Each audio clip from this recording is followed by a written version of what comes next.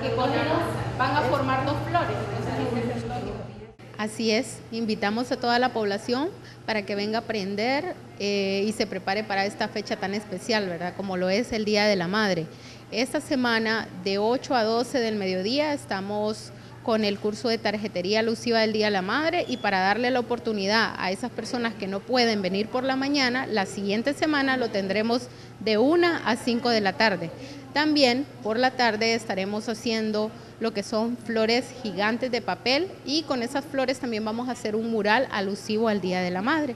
Lo mismo sería para la siguiente semana, solo que ya sería por la mañana.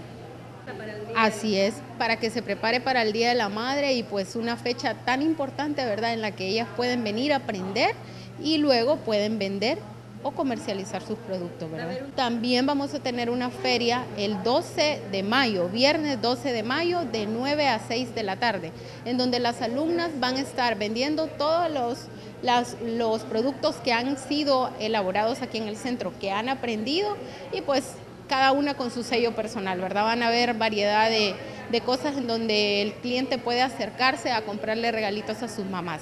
La persona que le interese el aprendizaje, la enseñanza es gratis, solo tiene que venir por su lista de materiales para que luego cuando ya se presente pueda venir ya con sus materiales lista para aprender.